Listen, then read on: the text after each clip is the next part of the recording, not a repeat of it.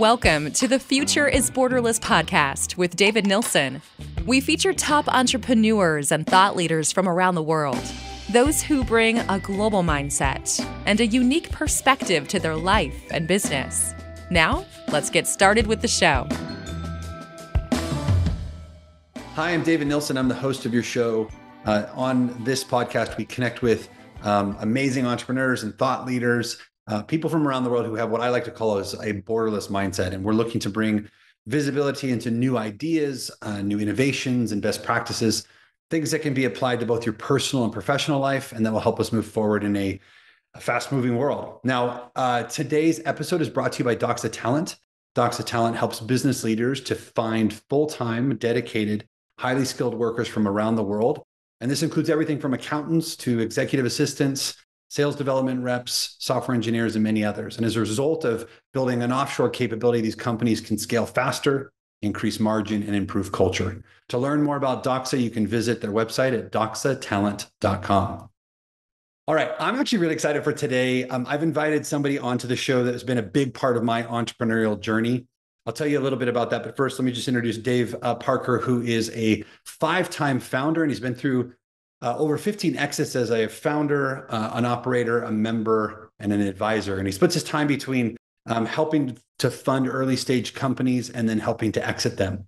He's a senior partner at Fearless Fund, which is focused on investing in women of color across the US in consumer and tech companies.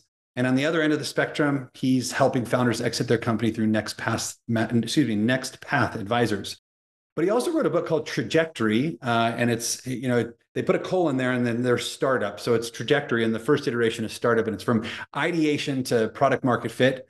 And uh, he's a Seattle entrepreneur who's been a highly ranked mentor with Techstars and uh, Flat Six Labs, 500 Startups, Founders Institute, and so on. And he's traveled the world, sort of investing in accelerator programs from Brazil to Singapore, uh, Budapest, and many other places. Now, on a more personal note, I've known Dave uh, since I think 2004, uh, shortly after I started a company called Guidant Financial, and he ended up being on our board for 15 years. So, unlike many of my guests, I actually know him very, very well.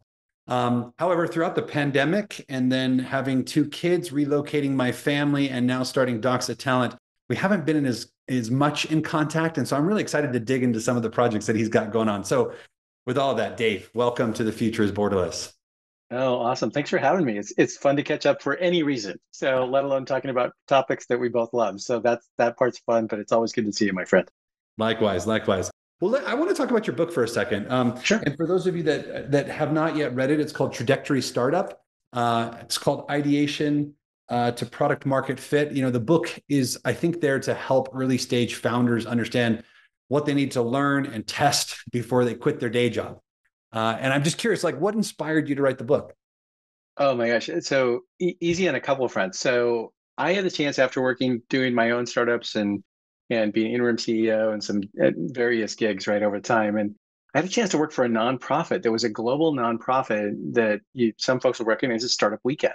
Mm. And Startup Weekend, uh, my last full year there, we did 1,265 events worldwide, 120 countries, 460 cities, can you guess I was the chief operating officer at the time based on the data? and 74,000 attendees. So I got to join a movement in progress, which was amazing. Um, Marc Nager and the team, and, and uh, I think when I joined the team, David, the average age of the team was 27. So I single-handedly brought the average up. Yes, um, and we went from 500 events a year to 1,200 events in two years in the time I was there, because it was really focused on how do we scale it? Right? And as a nonprofit, um, we ended up selling the company to Techstars uh, in 2015.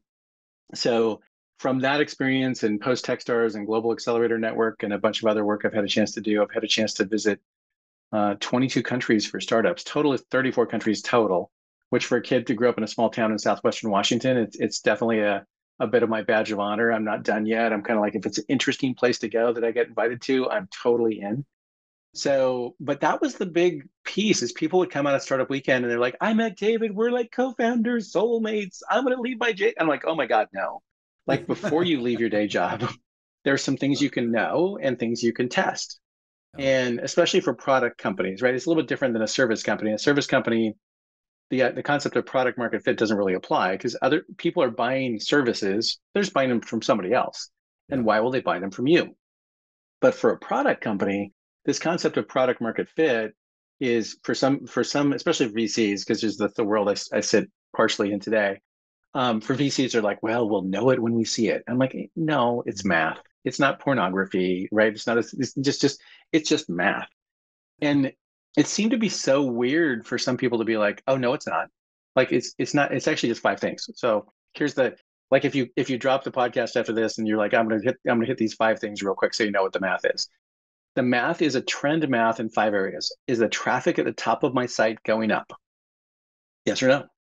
Is the number of leads every month or demos, if you're doing a product demo, right? Are those number of leads and demos going up? Are the number of customers going up? is my time to close going down? And is my annual contract value going up? If I have one or two of those things, it's exciting. Like, congratulations, you're on your way to product market fit. If you have those five things, you have the miracle of compound interest. Like, that is the. Now, are there more things later? Of course, there are. Like, special things that you want to measure just for your business? The answer is sure. But those five things are prescriptive like they apply to every business, especially every product business and predominantly tech. So I, I definitely lean tech and lean product. The concept there of product market fit is not, it's the, the point of the book is it's not a mystery, right? You can go find it.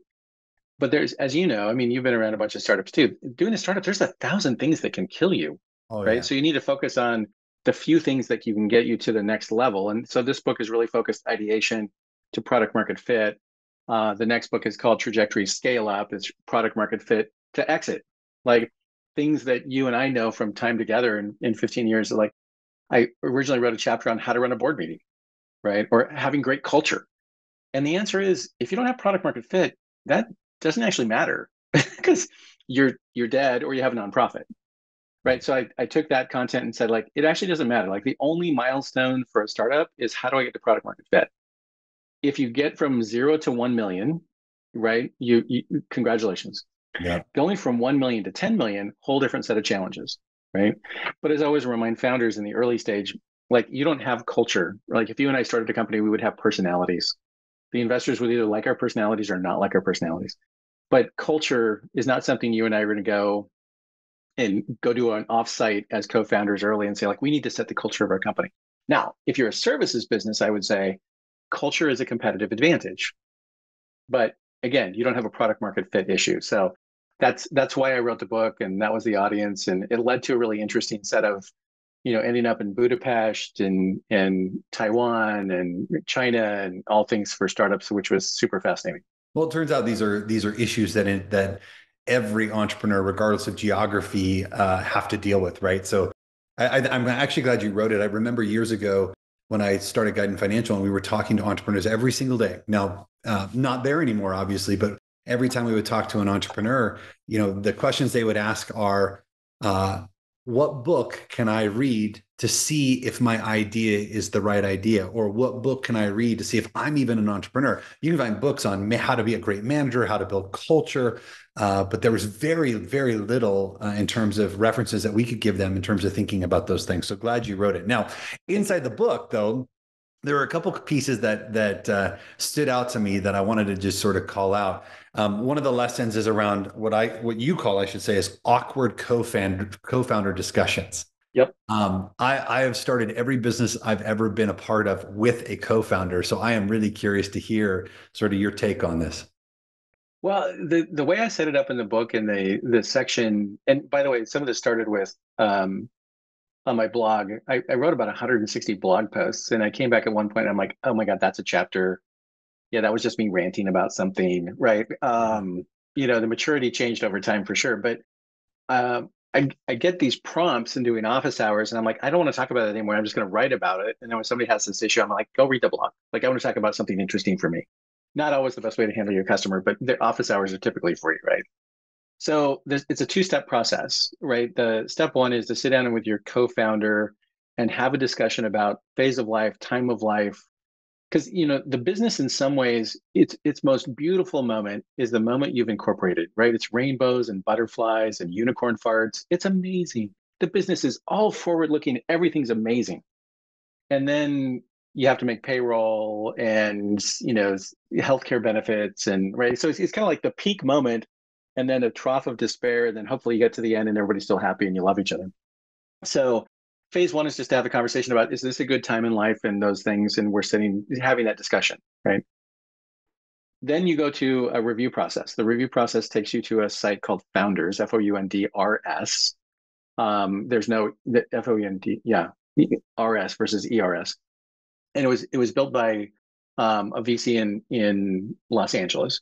And you basically put in there's there's room for four co-founders at the top, and you put in you click on a series of buttons, circles or squares around. Who's going to do this? Oh, you're going to be the CEO. Who's going to run the product? Oh, I want to be CTO. Whose idea was it? Right, and that that can only be one person's idea. So you go through this checklist and you get to the end and you hit the calculate button and boom, it tells you what your equity split should be. Oh, wow. So you print that out and you bring it to the second meeting. And it's a little bit like liar's poker, right? But instead of this way, you you you throw it down on the table in front of you and you're both like, "Oh, I thought I was going to do that." "Oh, I thought but it was my idea." Yeah. So it, it has this forcing function of like do we are we both you know, how do we feel about it? Like you're 67% and I'm the balance. And I felt like maybe I should be 50 50. Mm. My point is, is 50 50, I think, is the only wrong option. Right. Because it, it, says, and I know you guys have, you guys were 50 50 guy forever, which is the, an, an anomaly for sure. Right. um, so, but generally it means, at least from an investor perspective, you took the first hard decision you had to make and you decided to kick the can. That's usually what it means. So, and I don't care if it's 50 point one and 49.9. It's more just a matter of at some point that you were willing to take on the hard, dis- the hard discussion. So that's the forcing function. I've used it a bunch of times. Um, the only one time it didn't work, it was an interesting um, father son um, trio or father son, and they asked me to come on as an advisor. I'd known the father a long time, and the son I always appreciated. And uh, he didn't he didn't print it out. And he's like, oh, I didn't have time. I'm like, you just didn't like what it said. Yeah. Right. he's like, well, he's going to get my stock anyway when I die. I'm like, not the point. Right. So the point was, is to have the discussion before, um, because then you end up having discussions around like, well, if I'm, you know, if we're 65, 35 and the company needs $10,000, I'm going to put in 6,500 and you're going to put in 3,500. Right. Yeah. So I know one of my 50 50s, the only 50 50 I did, by the way, um, in order for my co-founder to take a check out, I had to put a check in and I'm like, well, then how does that change the the equity? And he was like, well, why would it change the equity? We've already decided on that. And the answer was, that's why you have the that's why you have the awkward co-founder discussions early rather than later. Yeah, I'm a big fan of having hard conversations before they're actually hard. Um, although the example, they never get easier. I was going to say the example never. you gave was actually not an easy one, and even even as a guy who's had uh, built and, and operated a very successful company with a 50-50 partner i would never recommend it because in the times that things do get difficult to your point somebody has to be able to make a decision and when you're 50-50 sometimes uh, that's not uh, not possible so yeah totally i love it well hey let's talk about raising capital for a second because uh, it was mm-hmm. you know obviously it's brought up in the book many many times um, but there was something that you you said that actually stood out to me, and you talked about what what I think you called it zombie startups. It's the mm-hmm. they, they're they're operating, but they don't have enough capital to really continue at the rate that they they need to. They can't actually raise capital. And I when I read that, I thought, you know what? I'll bet more startups fall into this category than uh, people actually assume. And so, just curious, uh, what would you say to somebody in that place? Yeah. So so let me define it first because I think it makes sense for people. If, if they want to Google uh, venture power curve, right? You'll see you'll see this, you know, x y axis, and the returns are here, and then it goes down the long tail, right? So the concept of venture power curve is so in the in the fund I'm with now, we have 30-ish companies, so we'll go with 30 because the math is easy. So the top decile of those companies will return the fund, right? So fund one was 26. We're working on fund two. It's going to be 150. We want the top three of those 30 companies to return north of $26 million. Like if you're going to return the fund. So that's my top decile. My top quartile, sans those top three, so my top 25%, is going to create returns, but they won't return the fund, right? So, so that, that, that quarter of those businesses will, will, and the return could be 1.2 times, 2.2 times, whatever, but they may even be as high as 10 times, but they're not going to return the fund. So that leaves me with my bottom three quartiles. So the bottom quartile is easy. They just die, right? They vaporize super fast is the general venture math. Not been true in our case so far because our fund has a little bit different thesis. We invest in only of only in women of color founded companies. So that category is the most founded per capita, the least funded per capita as a category. So, so far in the first three years of, of that fund, we haven't lost any of them yet. Um, recession coming, some bad business models, right? There'll, there'll be some for sure. But my observation there is that, that because that group has had so little funding, they're scrappier than other groups. So just mm-hmm. outside observation, super interesting to see how the data comes out as the fund matures. We're four years into a 10 years thesis there. So the challenge then is I've got the top 25% gets returned, the bottom 25% gets vaporized. What happens to the middle 50%? We're talking about half the companies. Mm-hmm. So half the companies don't have enough momentum. In the sell side of the business, we think of this as a, a rule of 50, right? They have 50% growth or 25% growth and 25% profitability. So most of these companies are growing eh, a little bit, but they're not growing, they're not north of 50% growth. Yeah. So they're not sellable, right? And they're not doubling every year. So they're not really venture scale, but they've taken money from investors, friends and family, right? And they're like, we can't shut it down. So where you end up is in zombie land, right? Which is I don't have access to capital. I can't really sell the company. I can't, I feel a moral obligation to not close it for my employees and probably for my investors. And I totally get that. I've I've done that too. Um, that is probably the eight years of my life I would like to have back, right? Because the answer was not a great outcome. And, and in retrospect, you knew it wasn't a great outcome. Those founders, David, I would rather they kill the idea and come back and ask for funding again because the so this is one of the common things in venture, right? Venture is so driven by uh, tweets, it's crazy, right? And there's what and people will quote them often. And one of my favorite, least favorite, or my favorite one to mock is the idea doesn't matter, only execution matters. Now, there's a big assumption there. The assumption is it's a good idea, right? So yeah. it's like, okay, well, if it's a big idea, sure, right? The execution only matters. There's not a lot of big ideas, right? There's not a lot of billion dollar ideas. There's a lot of small ideas, and there's a lot of ideas for tools um, there's a lot of niche ideas, right? But not every deal, not every idea is a unicorn, right? And the idea there is like, oh well, it's only execution matters. I'm like, there's lots of things that people say in the venture land that I always I laugh about as an operator because you're like, that's just BS. That's just crazy. I think they missed two key pieces there. It's a good idea, great execution, and a little bit of luck. So yeah, the luck is part of it. I always tell people there's a, there's a the the formula here is um, you got to have a great market first. So I, when I started writing the book, I was like, oh my God, it's the team. After, and I had this weird quirk I did the two years before I finished the book because I read 100 books a year for those two years. Not a not something I would recommend for people who have a life because you don't. If you do 100 books a year, the answer is yes, Audible at 1.8 times speed, yes, ebooks, yes, Kindles, yes, physical books. You have to do all of them to get to 100. And the the big takeaway in that whole process was you have to be fast to learn and assimilate data and information. The same thing is true in a startup. Yeah. Right. So when I started that, I was like, you know, so and so said team first. So and so said this. So and so said that. And after reading and refreshing on all of them, I, I walked away from a, synthesizing that piece of it and said, you know, it's really one A and one B. It, one A is the market. If it's a great and interesting market, maybe even a nascent market, it's, it's brand new. So think Airbnb or, or Uber from that perspective if it's a great market, a mediocre team can still get an amazing result. But if it's an amazing team in a bad market, they will still have a mediocre result or fail. So 1A and 1B became market first, team second. Number three then was product. Is it super sticky and new customers love it? And number four was traction. What are the early indications that customers care about it? That gets to the five point formula around product market fit. Yep. Yep. What let's um I want to drill into one other piece and then I want to talk a little bit about some of the other projects that you have going on. Um, sure. pricing. I mean, you, you oh. one of the, the big things is there's 14 pricing models um, that you sort of uh, put in the book. You know, I will say after 20 years of being a CEO uh, and now having started yet another one, you know, pricing is always a really complicated um, component like how are you going to how are you going to charge for your services what's the margin look like so on and so forth but i'm just curious when you look at the pricing models that you kind of that you set out in the book which one do you think is used most often and and i'm actually really curious which one is most underutilized Oh, interesting question. So um, let me, I'll, I'll, pull back up a level and explain kind of the thing so the nomenclature gets set for people. So there's there's the thing, the concept of a business model. Yeah. The business model has three big buckets of components, right? So the first big bucket is what is the product or service you're delivering and how much does it cost to either make it or deliver it, yep. right? So that's the first big bucket.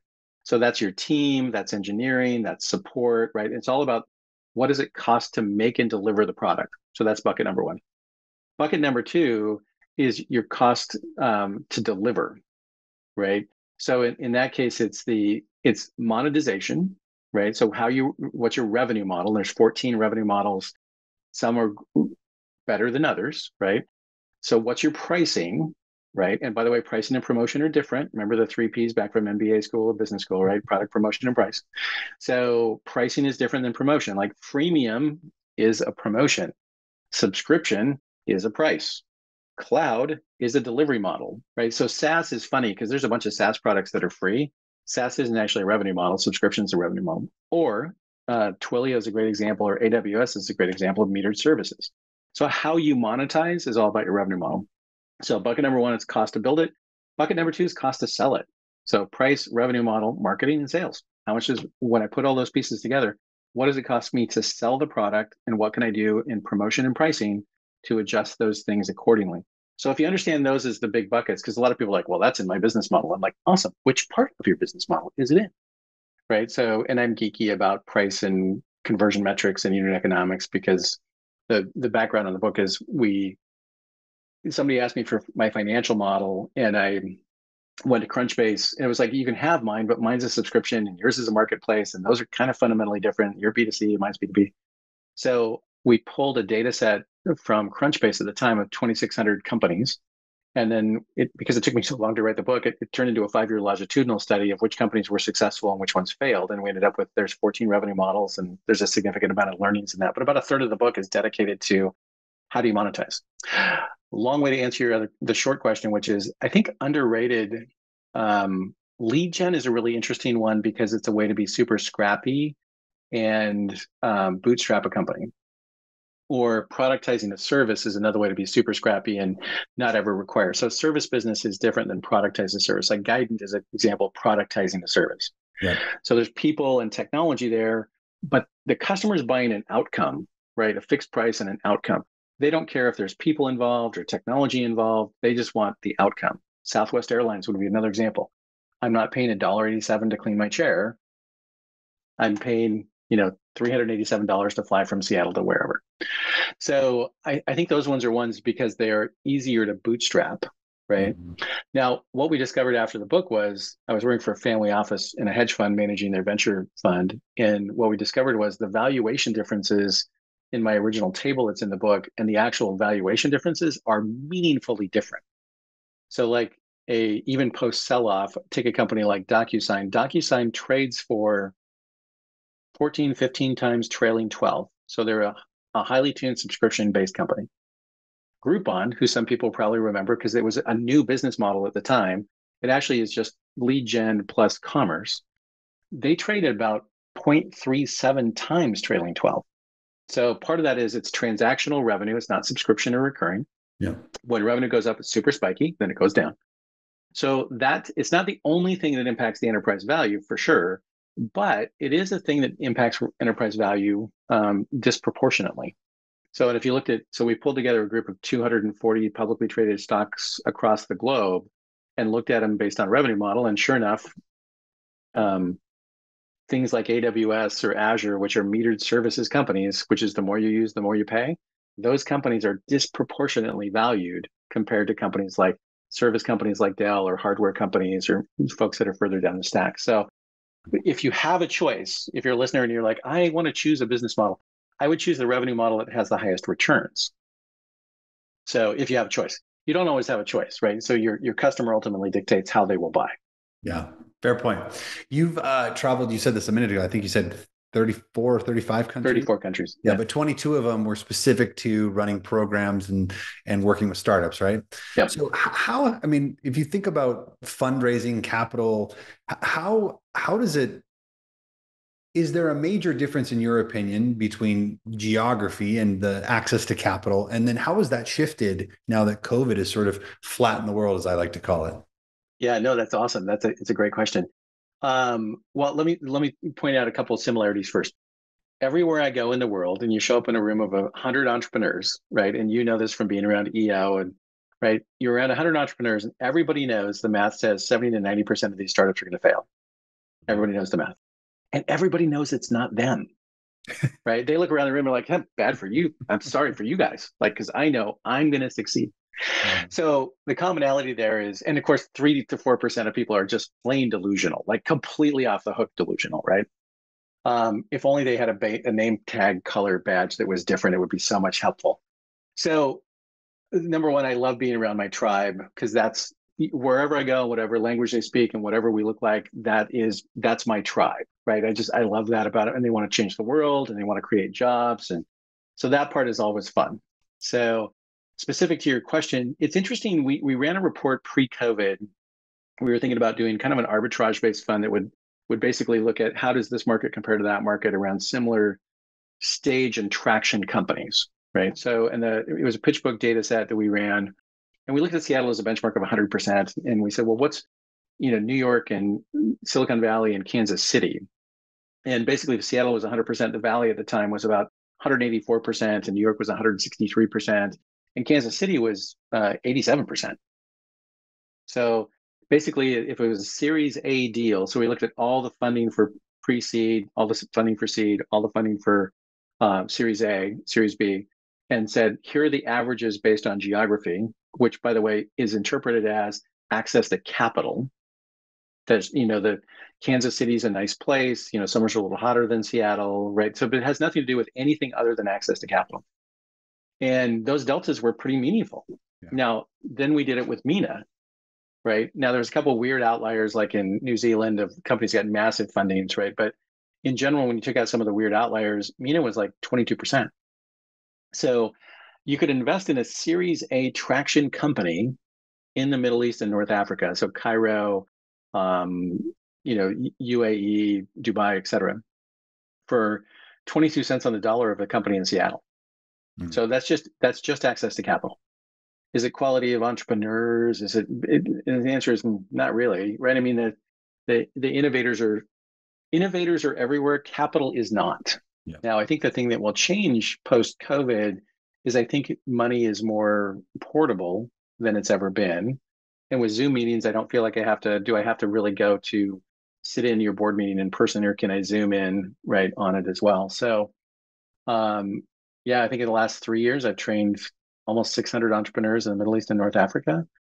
And I would tell you it's it, access to capital. They have a they have an emerging tech ecosystem. It's very much like what I saw in Seattle when I first started my first company in 98, right? There wasn't a people eh, we we all complain about the same thing all the angel investors here all the vc investors here right but the fact is is that yc and 500 startups and techstars have really created a common um, set of documents that are open sourced you know the the yc safe document oh, yeah. uh, makes tons of sense right some investors don't get it yet and the further you are you further away you are from the valley the, the more angel investors don't really understand it but um, that's really normalized a lot of things that um, very much if the parallel would be in my first startup we had racks and racks of servers and today i would rent all of that on aws for $600 a month so that aws has caused the price point required to start a startup to go down the same thing is true with the yc safe docs yeah right? instead of needing $40000 to do a private placement memorandum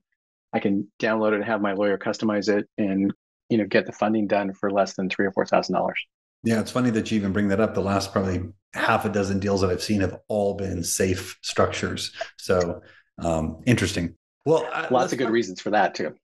Yeah. Well, let's talk, let's talk about uh, next path for a second. So you're mm-hmm. helping entrepreneurs exit their business, um, and I, it's funny. I went to the site because I wanted to learn a little bit more about you know sort of what you guys say you do, and it was it said strategic positioning as a service. Uh, tell us what that means. Yeah. So for most founders, the stage we come in at is somebody's made an inbound call and they're like, what do we do? And the answer is, well, if you only have one buyer, the answer is you're not going to get a great price. Yeah, right? let's clarify so you, that. You, you you're saying that someone has received an unsolicited offer, and now they're like, "Oh shoot, I need to create competition." Or even just in, inbound interest, right? Oh. So it's like some associate has said, called and said, "Hey, I see you guys. Would you be interested in selling?" Um, and then we, as a founder, we get past the flattery of like, I've finally been recognized for all my work, right? And then you're like, oh crap, what do I need to do to figure out if I am ready to sell? Yeah. So so that's the positioning part is really helping you understand like what do I need to do to align the the business to get it ready to sell. So if your business is super profitable, congratulations. Um, you've been paying yourself $74,000 a year because that's kind of like the minimum threshold the IRS won't bother you about. And you've taken distributions and taking, you've tax advantaged how you manage your cash. We'll probably want to change that before you sell it. Yeah. Right. So how you structure it, how you position it, what's your product roadmap? Right? Whoever's going to buy you really wants to know, like, are we buying, or do you want to stay with the business? Do you want to go? Does your product fit into our product roadmap? So there's there's some positioning that needs to happen to get you ready to sell. The other we kind of obfuscate a little bit because people are like, oh, you do sell side M and A, and I'm like, well, we do more than that because we have to help the founder get ready to sell before. I think one of the flaws in this process, David, and you know because you've experienced it as well, is that broker dealers will come to you and they're like they'll make up a really nice book for you and then they'll tote you around it like a real estate agent some real estate agents they don't care what they sell it for as long as they sell it. Yeah. And they get the commission. We actually think about it from a founder perspective and say how do we help you sell it for the most you can sell it for? Which are two different things. And part of that you know from a business development standpoint says if you have a logical relationship with your upmarket buyer they're probably going to be the people who buy you so how do we help them, you know, strategically make sure that they're really, really committed to you so that when we bring in an alternate buyer, they're like, we don't want you to go to those guys because we really need you. Like, and that's relationship based and it takes some time to do. Um, but that's the fun part, right? It, it's as an investor, it's fun to, to see checks get wired into your business account. As the founder, the best thing is getting the check wired to your personal account. Yeah. You know what? I would imagine it's the best uh, thing. I mean, certainly I've had some exits. So, um, from that standpoint, I can validate it is always nice to see that happen. But there is an emotional side of selling. Um, oh my God, for sure. Know, I, would love to actually hear as a result of your own experience. I mean, you've you've sold many businesses. Uh, tell us a little bit about what that emotional journey looks like, and then what would you sort of suggest anyone do to prepare for that moment? I think the first one was the weirdest one because we're we're we're we've done we've closed. I'm sitting with the the sell side advisor who's doing what we were just talking about. He, he was doing for me at the time, Paul, and we were sitting and having dim sum, and he said, "What are you going to do next?" And I'm like, "Oh my god, I don't actually know," because I haven't had a job in a really long time, right? So so I'm going to work for the company. By the way, it's the first time I ever got fired. By the way, it was from the the company who bought us, bought my first company. Um, so I actually took a break, um, drove to Colorado to to hang out and decompress. And but part of the number one thing was weird is that you know I, me and the CEO of my first company were like we're together, right? So when you pull those two things apart, you're like, huh, identity challenge, because mm-hmm. you're like, I'm not the CEO of this anymore. Um, and then the buyer actually uh, sent me on vacation for two months because they wanted to recruit the team without me. So uh, I came home on like a Tuesday, and my wife was like, "Why are you home?" Right, way pre-COVID.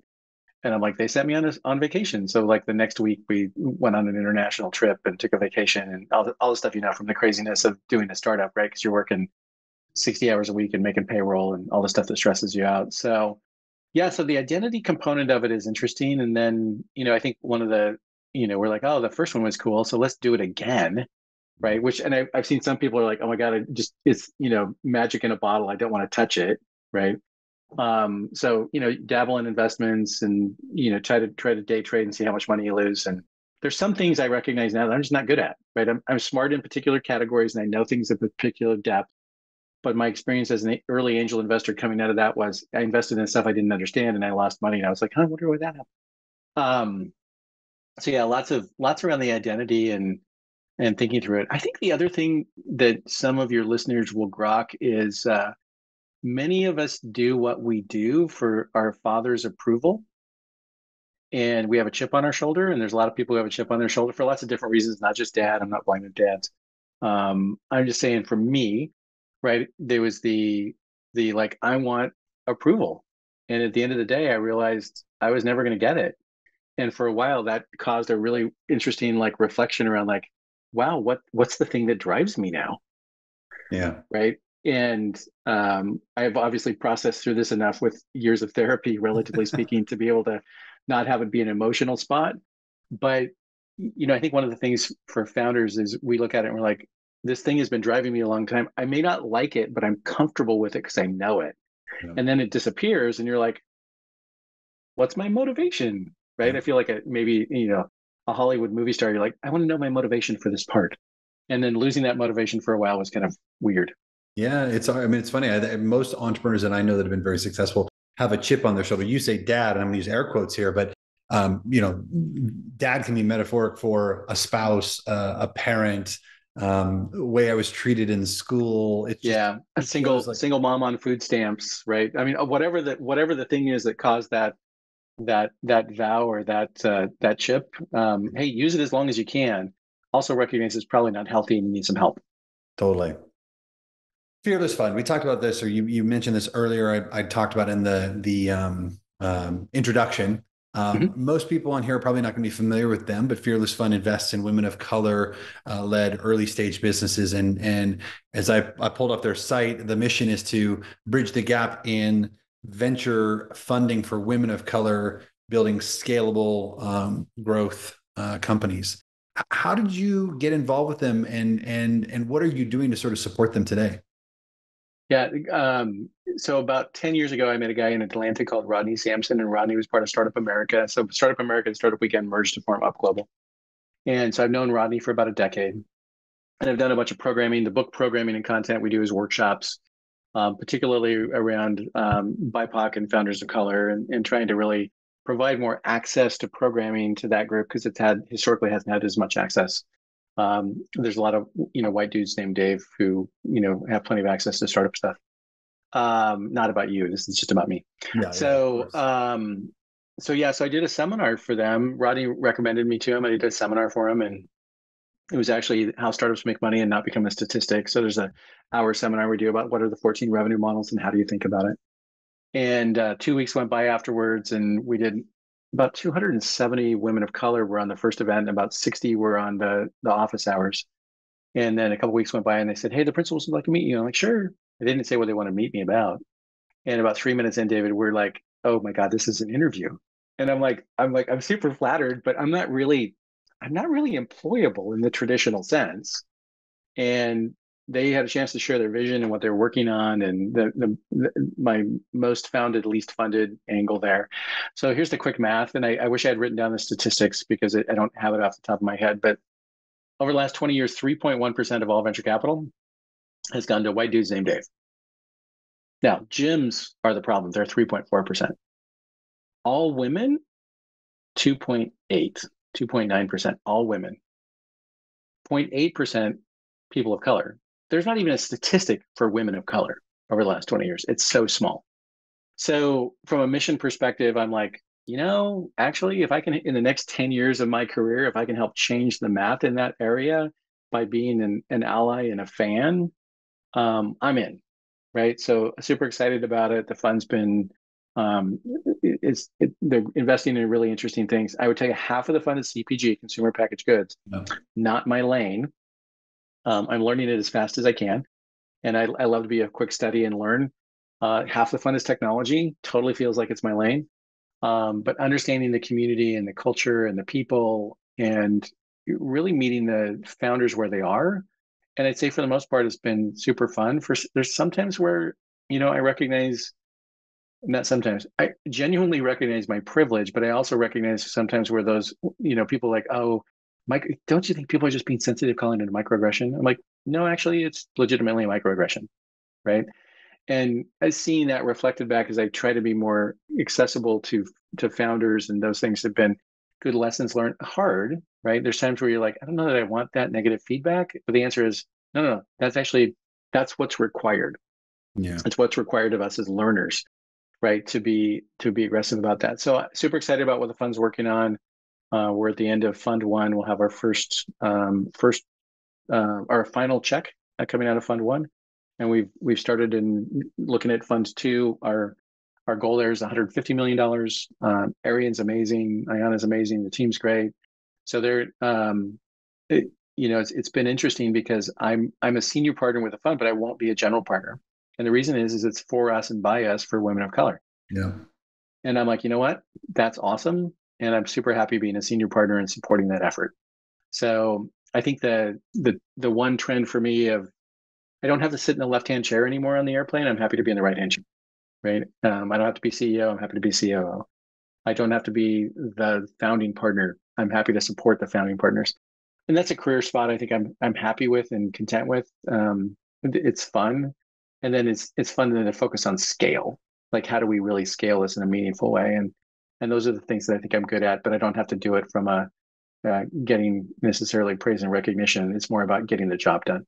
Yeah, it's leading from behind. I think that's great that you're working on this. Uh, eh, the numbers are staggeringly low. I guess I didn't realize how how little uh, went to just even women as a broader category. Um, and in fact, all, most of the data that I've read shows that women operated businesses are more successful than men operated businesses. And so that's uh, that's fascinating. Yeah again you're back to the same access to capital topic. Yeah. if i don't have access to capital based on geography or based on uh, let's call it what it is systematic racism right? So networks are open for people who have access to the network right? So one of the things that we try to do is we it's hard to give feedback in the moment. Sometimes we it, we want to give measured feedback so we try to give measured feedback in, around market team traction and product. There's lots of other feedback we can give too but again it doesn't matter so much. But you know vcs are bad at ghosting people and not providing any feedback because as a vc you're like there's no upside to giving feedback right? If i if i give you feedback and you're like ah i don't like what dave said and you crush it you're never going to come back to me again and say hey do you want to invest again? Right? Because yeah I told you, I gave you candid feedback. So there's no upside in it for the VCs. The drawback is the, the community we serve deserves feedback, right? So it's hard and we're trying to figure out that I would say I'm trying to figure out the balance. I don't, I think maybe other team member, members have done a better job of it, but yeah, no, I think it's for all founders. If, you know, like we started at the beginning, there's a thousand things that can kill you in the startup. If you can show me a shortcut or the cheat code to get from this level to that level in the video game and I don't have to spend six hours getting killed by the same boss, like that's rad. I should I want one. Give me that. right. Well, let's uh, let's transition to people for just a second. I mean, we talked, mm-hmm. you know, we've talked about uh, pricing, revenue, business models. Let's talk about people because it's an interesting time right now. I, I literally can't talk to an entrepreneur today without hearing their concerns about talent, and they're saying, you know, I can't find people, but if they can, they're struggling to afford them. If they try, they're struggling to retain them. So, uh, what are your thoughts on the labor market today? And when you're talking to these startups, and you know, you guys are thinking about funding these new businesses, like how are you how are you sort of working with them to think about uh, talent as they go forward? Well, I mean, in, in the startup phases, obviously, it is your number one expense, right? We may call it engineering, we may call it customer success and sales. It's people, right? At the end of the day i have to be able to scale my my people. I have to know what i need for them. I have to be able to manage them. So it's the it's you know it's the good and the bad. The good thing is is um, i know what i need. The bad thing is people are involved and that's not, not always easy. So the the pieces there i think is again i won't dig into to the, the culture component because i think it's such a broad topic. Right now you need to think about your values and what's important to you from a value standpoint and do the people align with your values if you get that out of the way in the early stage you'll be fine. Like we can fix culture later. So and then you have to look at my cost right? What's my my cost of the person? Are the economics? How long does it take me to hire them? How long does it take me to onboard them and train them? One of the common mistakes in in startup land is you you hire the best you can afford early days right? And then I'll, I'll I can't tell the number of times founders like we have technical debt. I'm like that's awesome, congratulations. Six months from now you will have organizational debt because or because it follows right. There's yeah. technical debt first. You're like oh we didn't build this right, and then you have organizational debt, which is I have some people that I started with in the early days and they're they're not really the right people, yeah. but they're founders or co-founders or early first employees and I, I you got to make some hard decisions, right? So I think when you think about a scalable people process, right, that that's really important because as a founder, I would tell you my in my first company we went from zero to 32 million in sales and zero to 150 people in about four years, and pretty much made every mistake you can make. Right, my my fans would tell you I made all those mistakes. My my detractors would tell you I made way more than that. Um, but you make a lot of mistakes, but all the all the mistakes are generally you know the leading problem is people. Yeah. So identifying a process of how you scale people faster, putting the infrastructure in place so you can do it in such a way that you you're not distracted by you know did the did this happen or did that happen? Did, you know like just things like you know payrolls and things like that. Automating as much of that process so you can stay stay on the the big things that get you to the big milestones is super important. So you know i think the stuff you're doing with with Doxa is super fun because it's like you know there's quality you know just like the entrepreneur story there's quality people everywhere with different access to capital from a venture standpoint. There's also quality workers everywhere um, that you know you look at the material difference you know in the development side it it it, it goes like oh it's now argentina now it's georgia and then it's so there's always it's it's not really a race to the bottom. It's a question of where do you find the quality people in a way that you can make uh, sustainable relationships for your employees yeah. right? And uh, you know the us side of it right now the, the job hopping and and sorry we can't call it job hopping anymore because that's my generation and your generation. It would you know to be the great resignation but uh, um, it's not you know now it's all about for me as the employee what's best for me. And i think that you know companies haven't shown any loyalty to it. So i think if you're old school and you think about it that as job hopping which i said you're you're probably just wrong. And you know when employees can go make 50% some somewhere else the answer is you better figure that out because it's going to be a problem. Well you know it's funny. I must be an old soul because i still call it job hopping. Um, you know, it's funny. I was uh, McKinsey just tried to reframe this by uh, they they wrote a document called the Great Attrition as opposed to the Great Resignation.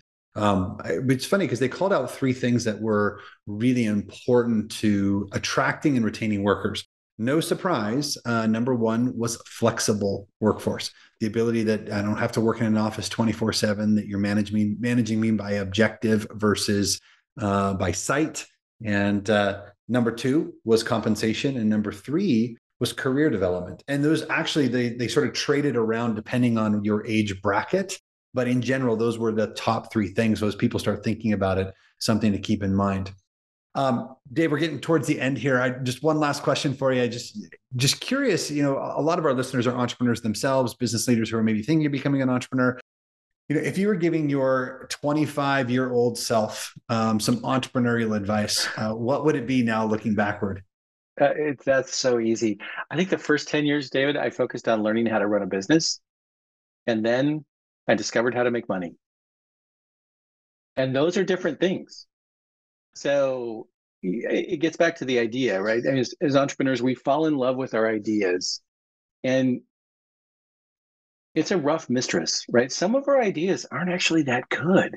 Yeah and you're like but but it's my but but that's the mistress i love. And i'm like sometimes you should get you know get a new one get a new idea. And i was going to say a new mistress but get a get a new idea. Because the the amount of work required to build a non-scalable not super exciting business and the amount of work required to build a super scalable unicorn type business the, the workload doesn't actually vary right? Time the commitments the pain and suffering but you know, every once in a while somebody will say, Would you come off the bench and build another startup? And I'm like, Maybe. And people are like, Really? I'm like, If it was a really big idea. Because what I've learned is that really big ideas are actually really rare.